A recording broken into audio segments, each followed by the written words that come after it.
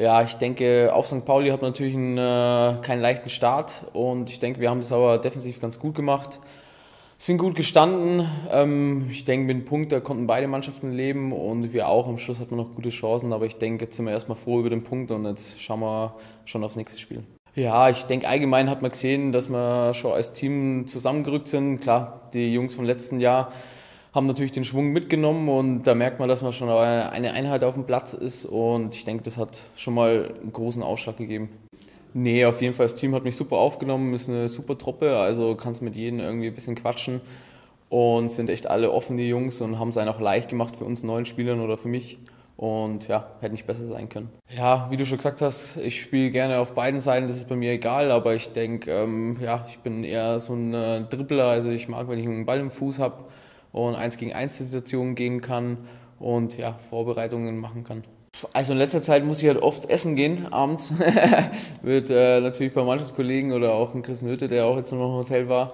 Und dann sind wir natürlich ja, in die Stadt immer rein, ähm, wo die Restaurants sind. Und ja, ich denke, das wird sich jetzt dann erst herauskristallisieren, wenn ich jetzt meine Wohnung habe und mich mal wirklich frei bewegen kann. Ja, ich bin seit gestern, habe ich meine erste Nacht in meiner neuen Wohnung geschlafen, darum bin ich jetzt vor, aus dem Hotelleben in dieses normale private Leben zurückzukehren und einfach nach Hause kommen und auch einfach mal relaxen wieder.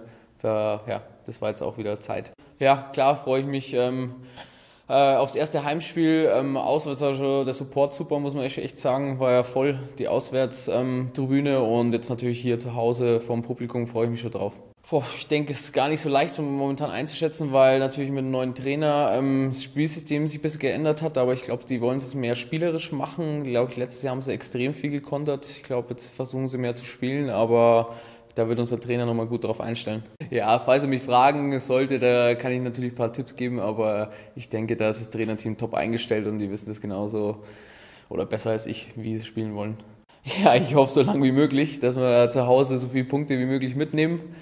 Und wenn man zu Hause gut steht, dann äh, kann das eine erfolgreiche Saison werden dann. Ja, ich will auf jeden Fall torgefährlicher werden, mehr Tor, äh, Zug zum Tor noch ähm, in meinen Spielen haben und natürlich noch mehr Strafraumsituationen haben. Engagiert, äh, Sprinten, Dribbling.